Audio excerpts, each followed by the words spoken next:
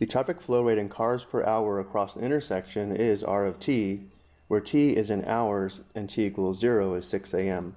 How many cars pass through the intersection from 6 a.m. to 10 a.m.? To better understand this question, let's look at the graph of the flow rate function R of t on the coordinate plane. So R of t is graphed here in purple. Along the horizontal axis we have the number of hours past 6 a.m. Along the vertical axis we have the flow rate in cars per hour. Because we're looking for the number of cars passing through the intersection from 6 a.m. to 10 a.m., if t equals 0 is 6 a.m., notice t equals 4 is 10 a.m., since 10 a.m. is 4 hours past 6 a.m., which means we're concerned about the closed interval from 0 to 4 along the horizontal axis. From here, let's go ahead and shade the area bounded by the function and the x-axis over this closed interval which would be this area here.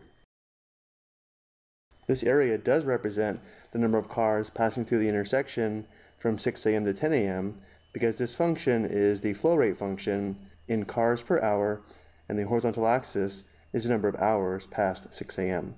Notice to find the area, we would be multiplying the units of hours by the units of cars per hour, which does give us cars, in this case, the number of cars passing through the intersection from 6 a.m. to 10 a.m. And now let's set up and evaluate the definite integral. The number of cars passing through the intersection from 6 a.m. to 10 a.m.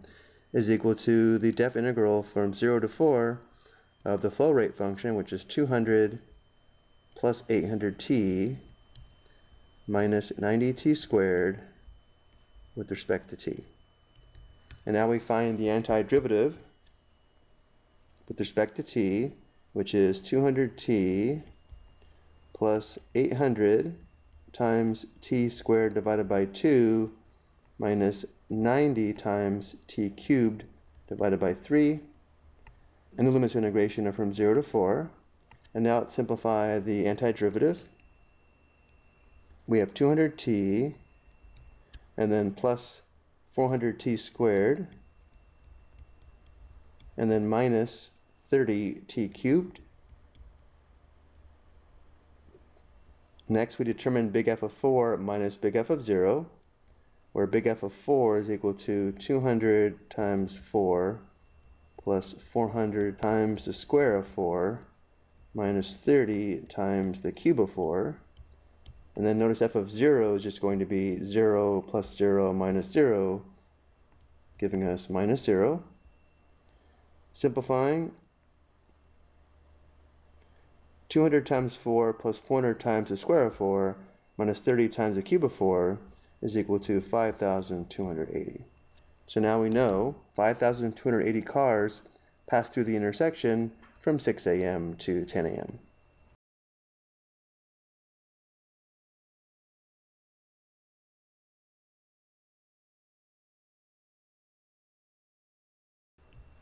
Which again, going back to the graph, is equal to this red area here, bounded by the flow rate function and the x-axis over the closed interval from 0 to 4.